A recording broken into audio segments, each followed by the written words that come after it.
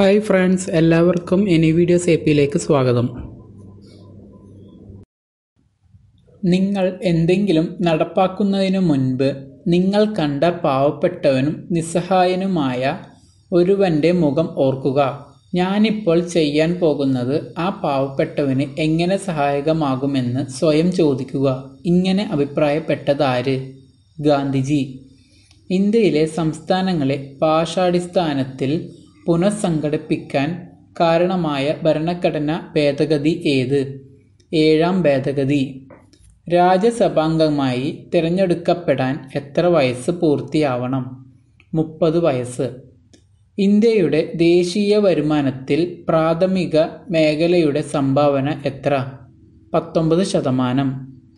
താഴെ പറയുന്നവയിൽ G S ടിയുടെ പരിധിയിൽ ഉൾപ്പെടാത്ത ഇനമേത് വൈദ്യുതി മരുന്നുകൾ സിമന്റ് പത്രക്കടലാസ്. വൈദ്യുതി. വ്യക്തികളുടെ ബാങ്ക് അക്കൗണ്ടിലുള്ള തുകയേക്കാൾ കൂടുതൽ പണം പിൻവലിക്കാൻ അനുവദിക്കുന്ന വാണിജ്യ ബാങ്കുകളുടെ വായ്പാ പദ്ധതി ഏത്? ഓവർഡ്രാഫ്റ്റ്. താഴെ തട്ടിൽ നിന്നുമുള്ള ആസൂത്രണം. എന്നറിയപ്പെടുന്ന ആസൂത്രണ രീതി ഏത്? വികേന്ദ്രീകൃതാസൂത്രണം. അന്തരീക്ഷം തണുക്കുന്നതിലൂടെ ഘനീഭവിച്ചുണ്ടാകുന്ന നേർത്ത ജലക്കണികകൾ അന്തരീക്ഷത്തിൽ തന്നെ തങ്ങി നിൽക്കുന്നത് എങ്ങനെ അറിയപ്പെടുന്നു? മൂടൽമഞ്ഞ് ഓക്സ്ബോ തടാകങ്ങൾക്ക് രൂപം നൽകുന്നതെന്ത്? നദീപ്രവാഹം. വടക്കുകിഴക്കൻ മൺസൂൺ അഥവാ മൺസൂണിന്റെ പിൻവാങ്ങൽ കാലമേത് October November. The social contract എന്ന കൃതി രചിച്ചതാര്? റൂസോ.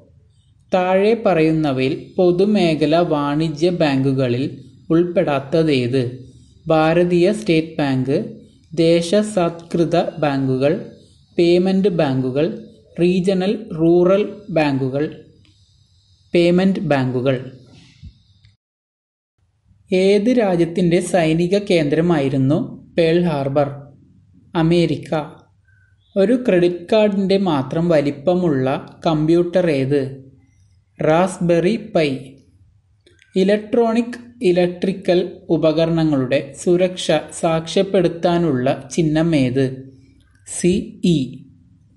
ഇലക്ട്രോണിക് വോട്ടിംഗ് മെഷീന്റെ ഒരു ബാലറ്റ് യൂണിറ്റിൽ പരമാവധി എത്ര സ്ഥാനാർത്ഥികളുടെ പേര് ഉൾക്കൊള്ളിക്കാനാവും?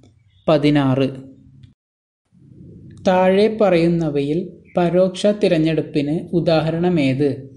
ലോക്സഭാ തെരഞ്ഞെടുപ്പ് പഞ്ചായത്ത് മെമ്പർ തിരഞ്ഞെടുപ്പ് പഞ്ചായത്ത് പ്രസിഡന്റ് തിരഞ്ഞെടുപ്പ് നിയമസഭാ തിരഞ്ഞെടുപ്പ്. പഞ്ചായത്ത് പ്രസിഡന്റ് തിരഞ്ഞെടുപ്പ്. ജനങ്ങൾക്കാവശ്യമായ വിദ്യാഭ്യാസം നൽകാൻ വേണ്ട സൗകര്യങ്ങളൊരുക്കാൻ ദേശീയ വരുമാനത്തിന്റെ എത്ര ശതമാനം തുകയെങ്കിലും ചെലവഴിക്കേണ്ടതുണ്ട്. ആറ് ശതമാനം.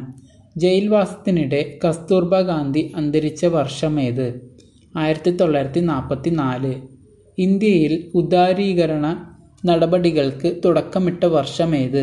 ആയിരത്തി തൊള്ളായിരത്തി എൺപത്തി അഞ്ച് ഈ ചാനൽ എല്ലാവരും സബ്സ്ക്രൈബ് ചെയ്യുക. വീഡിയോ ഇഷ്ടമായാൽ ലൈക്കും ചെയ്യുക. താങ്ക്